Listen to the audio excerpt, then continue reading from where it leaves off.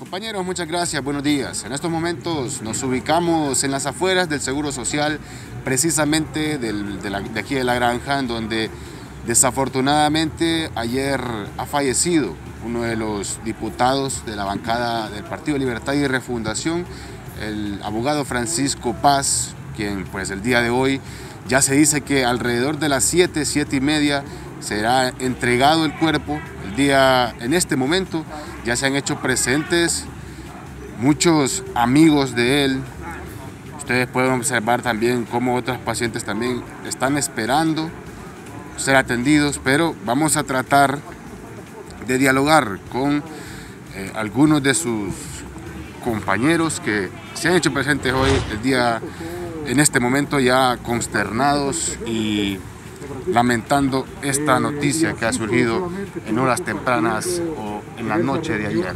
Escuchamos a Ronnie Martínez, él es diputado del Partido Libertad y Refundación.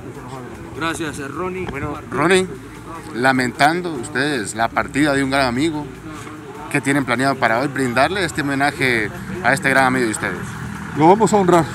Hoy es un día de honrar al compañero Francisco Paz. Vamos a salir ya en unos minutos, creo que a las 7 de acá del Seguro Social. Le vamos a acompañar en una caravana. Eh, acaba de pasar el presidente Zelaya, aquí está el presidente Manuel Zelaya Rosales. Solo chico me pudo mover, dice el presidente Zelaya, viene de Olancho. Vamos a hacer el recorrido desde aquí de Tegucigalpa.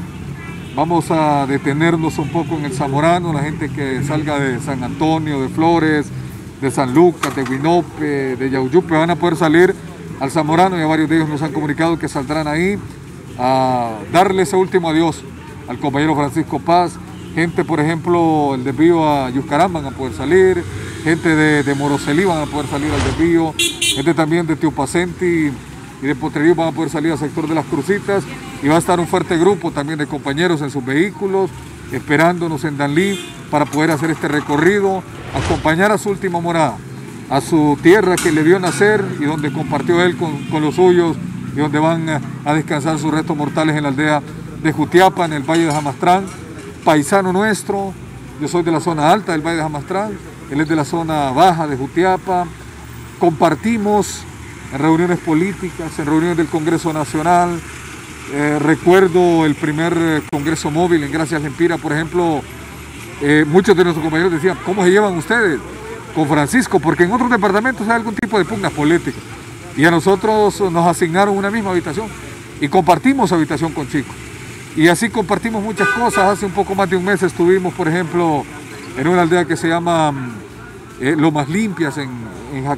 Estuvimos en el Jícaro Alauca. Eh, él llevaba a su gente, por ejemplo, lo que él denominaba una libra de amor.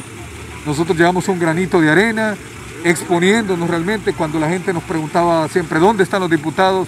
Ahí estaba Chico, ahí estaba este su servidor. Hoy eh, lo hemos perdido, lo hemos perdido, pero solamente consideramos que se nos ha adelantado y el homenaje se lo va a hacer hoy su pueblo aún en estas condiciones.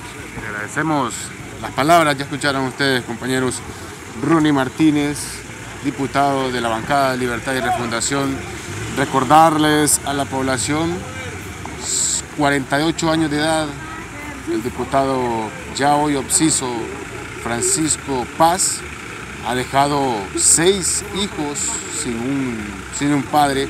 La familia también se ha hecho presente aquí, está en este proceso de reclamar el cuerpo sin vida. Y estas son las lamentables noticias que deja el COVID-19 aquí en la capital. Compañeros, con ustedes estoy de nuevo. Ahí están todos los correligionarios de Libre